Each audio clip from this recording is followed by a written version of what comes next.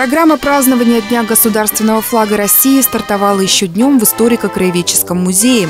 Звучал духовой оркестр, работали мастера аквагрима, у детей в руках воздушные шары в цветах триколора. Кульминацией праздника в музее стало открытие выставки, посвященной символике российской государственности.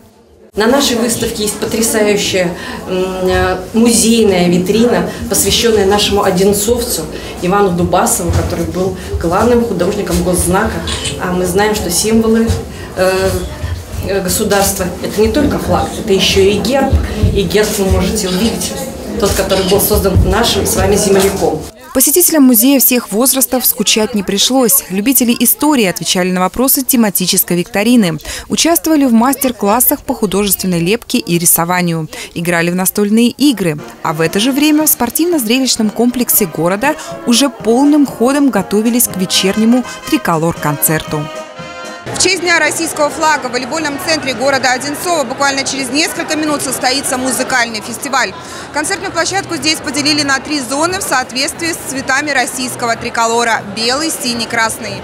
В Одинцовском городском округе День государственного флага всегда отмечается с размахом. В этом году главному символу страны исполнилось 350 лет. Флаг это свершение. А, он отмечает, конечно же, самые яркие периоды в истории, победные периоды. А победы нашей страны – это люди. И мы а, сегодня э, дышим в ощущении такого очень ясного и простого слогана «Россия – страна героев». Дуэт ведущих музыкального марафона министр культуры Московской области Нармин Шаралиева и глава Одинцовского городского округа Андрей Иванов уже стал традицией. День флага – молодой праздник, поэтому мы можем формировать традиции прямо здесь и сейчас. Мы можем сегодня осмыслить, что для каждого из нас значит символика нашего государства. Праздничный концерт открыл актер, певец, звезда музыкального театра Антон Макарский. Бессмертный хит Мишеля Леграна «Вечная любовь» прозвучал символично и жизнеутверждающе. Вечная любовь, верны были, но время зло для памяти моей.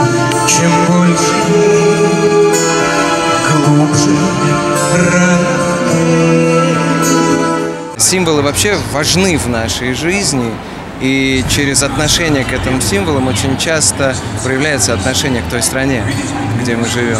Выступление солиста оперы уникального российского тенора Алексея Татаринцева – подарок для публики. В его исполнении прозвучали произведения разных времен. Ничто на земле не проходит бесследно и юность ушедшая все же бессмертна, как молоды мы как молоды мы как искренне любили, как верили в себя.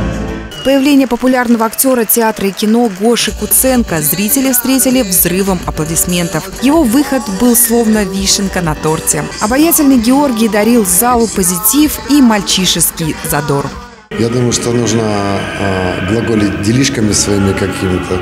И сегодняшнее мое выступление хочу напомнить этими песнями, э, улететь в свою молодость и вспомнить ту красивую, мирную сильную страну, которая чтила своих граждан и которая отвечали взаимностью.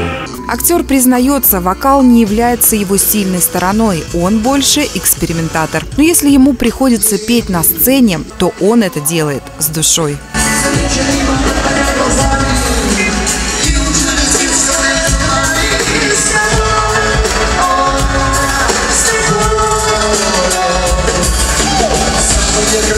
Gracias.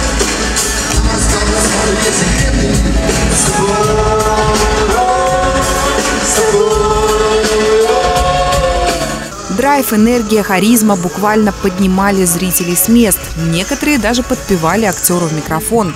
В зале царила атмосфера настоящего единства.